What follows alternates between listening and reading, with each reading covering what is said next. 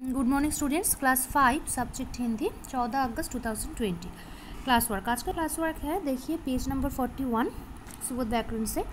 सर्वनाम किसे कहते हैं? उदाहरण सहित लिखिए। तो इसका उत्तर कॉपी पर बुक पर ही है आपके तो देख लीजिए।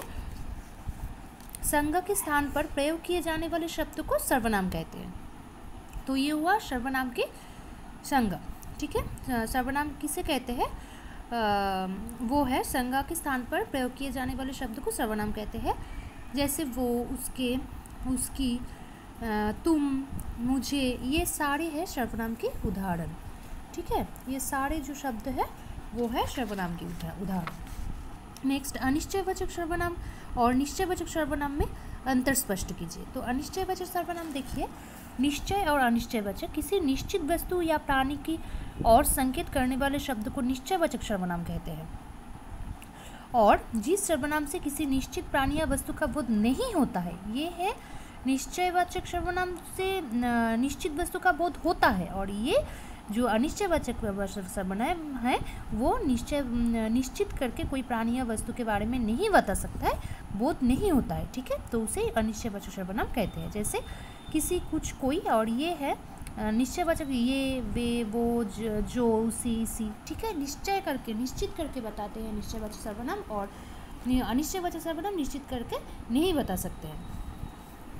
नेक्स्ट देखिए प्रश्नवाचक सर्वनाम से आप क्या समझते हैं? तो प्रश्नवाचक सर्वनाम से क्या?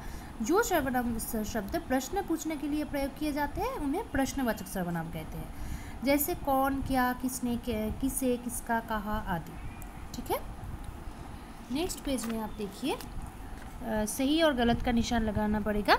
स्वयं शब्द का प्रयोग निजवाचक सर्वनाम में होता है। हाँ ये सही उत्तर।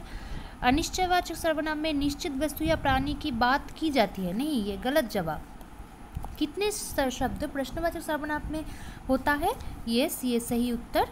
आ, ये शब्द निश्चयवाचक सर्वनाम में प्रयोग किए प्रयोग नहीं होता है। ये गलत जवाब। उत्तम पुरुष प्रश्न पुरुषवाचक सर्वनाम का एक भेद है, सही उत्तर। और आप शब्द का प्रयोग प्रश्नवाचक आप शब्द का प्रयोग प्रश्नवाचक सर्वनाम में होता है, नहीं गलत उत्तर। नेक्स्ट डैश यही कमीज पसंद है। उसे यही कमीज पसंद है। मटका किसने तोड़ा है? मैं कल चला जाऊँगा। हे भगवान, हमारी रक्षा करना। ये जो है नंबर फोर सर्वनाम जो नहीं है, उसमें गोला लगाना चाहिए। उसका तुम इसलिए कौन? तो उस इसलिए। हम गीता तो कुछ गीता, पर कहा तुम्हें आप पर। यदि मुझे ये ये वो, यदि। ये गोला लगाकर जो शब्द है, वो सर्वनाम नहीं है। ठीक है? Thank you